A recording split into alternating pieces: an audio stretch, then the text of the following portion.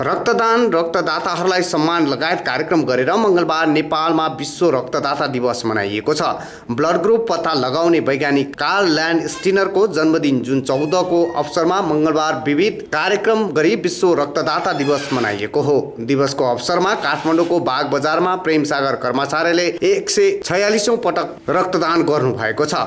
कर्मचारीले आफूले दिएको रगतबाट मृत्युको दोसादमा पुगेकाहरूको ज्यान बचाउन सहयोग पुग्ने भन्दै एक सय छयालिसौँ पटक रक्तदान गर्नुभएको हो। कीर्तिमानी रक्तदाता कर्मचारीलाई नेपाल स्वयंसेवी रक्तदाता समाजले सम्मान गरेको छ। समाजले अन्य रक्तदाताहरूलाई पनि सम्मान गरेको थियो। कार्यक्रममा स्वास्थ्य मन्त्रालयका निमित्त सचिव पदमबहादुर चन्दले रक्तदानका लागि प्रोत्साहित गर्न जनचेतनामूलक कार्यक्रम सञ्चालन गर्न आवश्यक रहेको र त्यसका लागि मन्त्रालयलाई सबैले सहयोग गर्नुपर्ने बताउनुभयो। जनचेतना छ। हामीले रक्तदान गर्नुपर्छ अरूको ज्यान जोगाउनुपर्छ।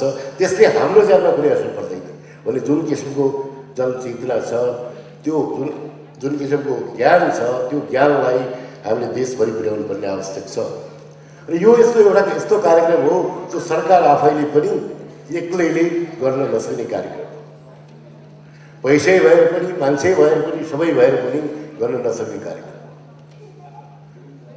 त्यसकारण यो यहाँ सबैको सहयोगको अपेक्षा छ यहाँ सबै हामी सबै मिलेर यसलाई चाहिँ जिल्ला जिल्लामा चाहिँ पुर्याउनु जरुरी जरुरी। काठमाडौँ उपत्यकामा मात्र दैनिक चार सय युनिट रगतको माग रहेकोमा रक्तदाताहरूले गरेको रक्तदानबाट नै उक्त मागको आपूर्ति हुँदै आएको छ।